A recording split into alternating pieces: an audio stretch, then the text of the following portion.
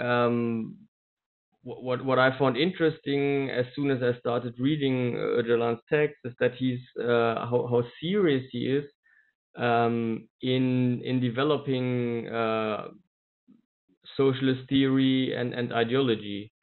Like when he discusses the the problems of the 20th century and the uh, defeats of several you know revolutionary movements, it's it's always you feel his interest in in doing it better in you know resolving those problems like really finding out what the problems were um, and to offer ideas offer alternatives of how to, how to do it better. And this is one thing that impresses me about the his discussion of ideology. And another one is how how deep he's trying to dig into the problems.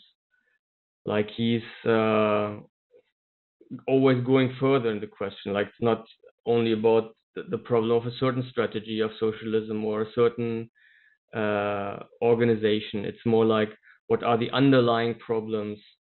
Uh, wh- what are the historical roots um, of those problems, and how far do they go back? He goes very far back in the analysis, you know, to the beginning of written history and beyond, like even before written history.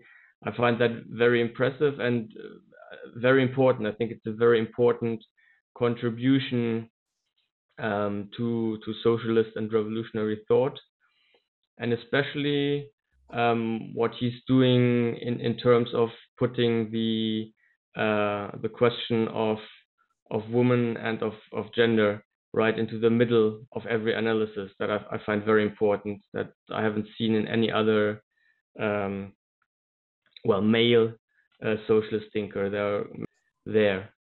So i think his his ideology has a lot to offer to a lot of people not only in the middle east um, but also in in the rest of the world. So so all these things in all these things Öcalan has proven that he can lead um, the, the movement to a peaceful solution.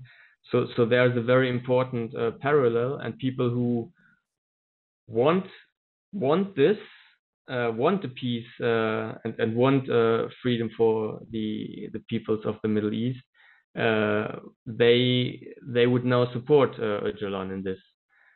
Um, so so so there is an, an, important parallel, and and I think this is it is possible to mobilize um, a lot of energy there by connecting uh, Öcalan's freedom and the, the, end of the isolation, not only to his human rights as an individual, but also to the collective rights of the Kurds, like saying, well, he's uh, the, the, our main political representative, he's our leader, many people say. Uh, so he has to be free to, to talk and to, to represent us and to, to talk, uh, but also to uh, his political function as a as a as a peacemaker. I think in, in time it's getting it's getting more important to draw also some uh, attention to to his age and the long time he has he has spent in isolation.